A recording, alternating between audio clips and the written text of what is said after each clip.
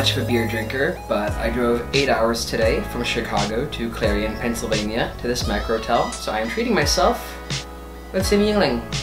But why am I in Clarion, Pennsylvania? For those of you that don't know, I am an intimacy director. That means that for the past couple of years, I have been mentored, assisted, and led my own shows from plays to musicals, coming in and choreographing intimate moments. From kisses to cuddles to simulated sex acts on stage. So I'm now going to a nine day training in Hartford, Connecticut, which is my final destination tomorrow, to meet a bunch of other intimacy directors from all around the nation and train for 90s with them. I, as a person, love long car rides, so driving eight hours by myself was actually really lovely. It gave me a chance to catch up on my podcasts, sing along to some musicals. I had a good time.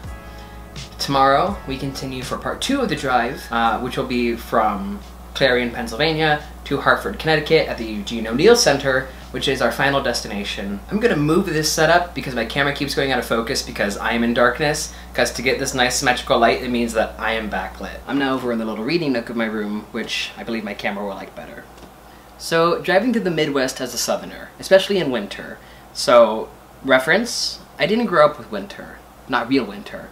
I grew up with around 60 to 80 degrees on Christmas. So driving through the Midwest and seeing barn after barn after cornfield after farm equipment all dusted with snow was really majestic. It really made me think of a Norman Rockwell painting, and I can really understand the majesty and the beauty of the Midwest. I can also understand why you'd hate it if you grew up in it, in the same way that I'm not a big fan of the plains, because I grew up there. Between the flatness, the churches, the empty road, and the wide sky, it really reminded me a lot of driving in Texas and growing up. Being with yourself for eight hours gives you a lot of time to do exactly that.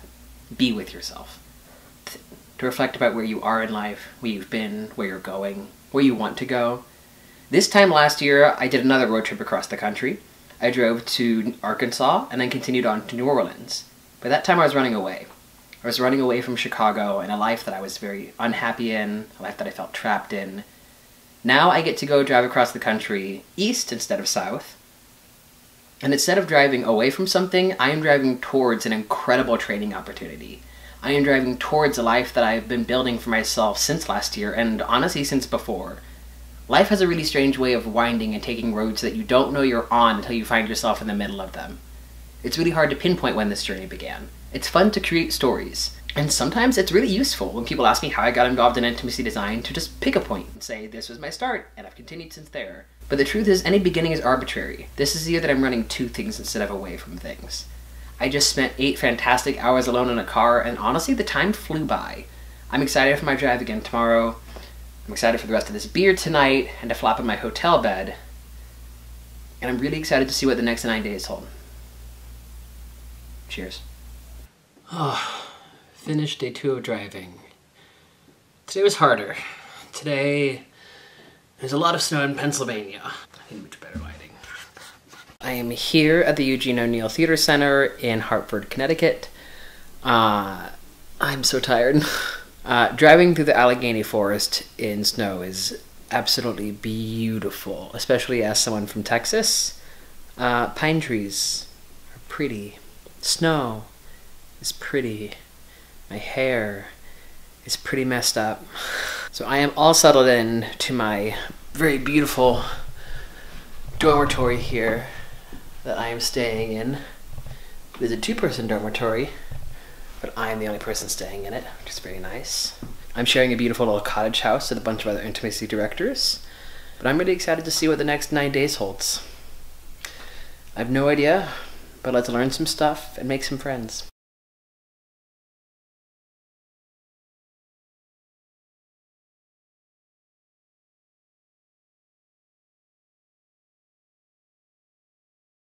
That is where half of our training goes on.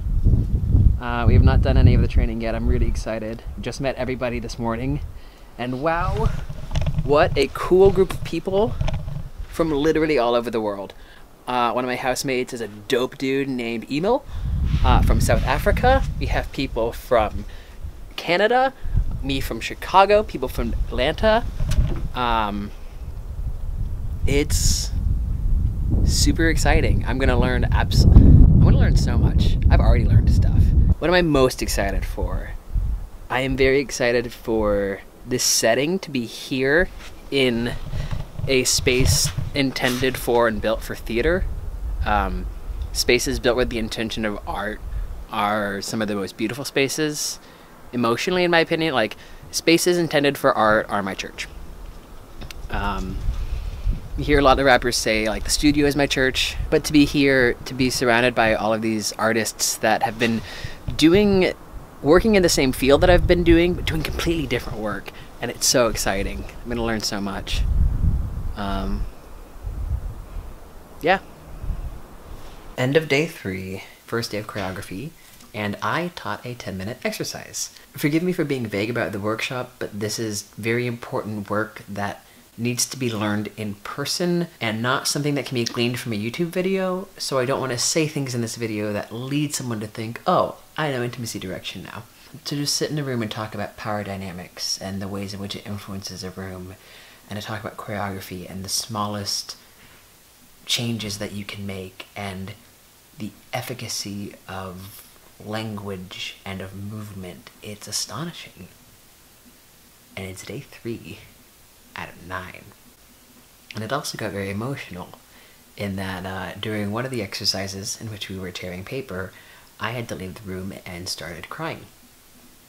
Uh, because even though in intimate scenes in movies, plays, television, it's happening between characters, the feelings those actors are experiencing that are real.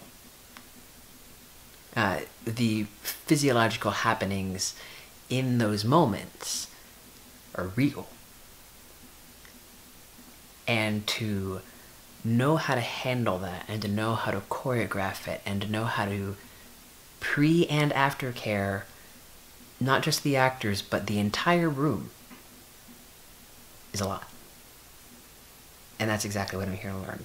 And I'm learning by not just the best of the field, but literally by the people that created it and I'm very tired physically and emotionally. And I'm gonna go to sleep. I don't know when I'm gonna check in here again, but I will. We are at the end of day eight. Today has been entirely about closure. Closure from this entire weekend. Not just closure from the negative or the hard emotions that came up, but also the positive. And that's what's hard sometimes is letting go of the good things. But by letting go of the good things, you let them return to you. And by letting go of the good things, you get in the practice of letting go of the bad things. So we went down to the beach. And this is kind of the first time in nine days that I've actually had alone time during the day. Because all day it's been workshopping uh, and just going, going, going from 9.30 in the morning to 5.30 at night, which is incredible. And then we all would usually decide to eat together. Like we had lunch together, we'd have dinner together, and then a lot of us would usually also go and hang out together in a big communal space. To be honest, I don't even know how to talk about this week because there's so much. There's so much still to process. There is so much that I didn't know that I needed to process that I was able to release and let go of here and I get to return to Chicago and return to my life with this beautiful new confidence and with my heart in my chest where it belongs. I'm sorry if any or all of this vlog seems very anticlimactic, but it is what it is. Intimacy direction is a beautiful, beautiful art. I take great joy and great love in participating in. And I'm very, very excited to continue contributing to this craft, to this field. I'm gonna keep loving and see what my mood looks like tomorrow after an eight hour drive back to Pennsylvania and then another eight hour drive back to Chicago. But right now, gratitude and love.